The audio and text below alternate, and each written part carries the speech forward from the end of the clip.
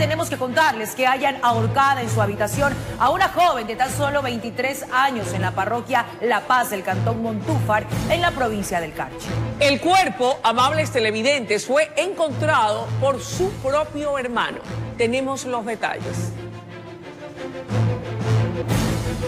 Estas calles de la parroquia La Paz perteneciente al cantón Montúfar en la provincia del Carchi es una más en la lista de los suicidios que lamentablemente se registran en el sector. Se investiga ahora qué fue lo que le aquejaba a la joven para que esperara la madrugada y tomar la decisión de terminar con su existencia. Fue su hermano quien encontró el cuerpo suspendido. En horas de la madrugada, eh, obviamente no habían podido ingresar a uno de sus dormitorios.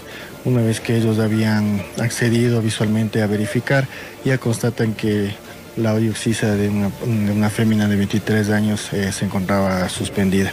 Una vez que se generó la alerta, paramédicos acudieron al sitio en donde solo confirmaron el deceso de la joven. La policía no encontró nada en la habitación como una evidencia clara que podría determinar la razón que empujó a Janelis a tomar la decisión que deja en la familia una serie de preguntas que quizá ahora ya no tengan respuesta levantando información para ver si es que se encontraba una carta exculpatoria, algún celular, algún mensaje, si refiere que la persona de sexo femenino, en este caso fallecida, eh, tenía algún eh, con, convivía con alguna persona o tenía alguna, algún pretendiente para poder eh, arribar a a, algún caso positivo para ver qué determina el fallecimiento. La joven habría utilizado una cuerda que posiblemente encontró dentro de casa. Al cuerpo lo bajaron del techo pensando que aún podía responder a la reanimación.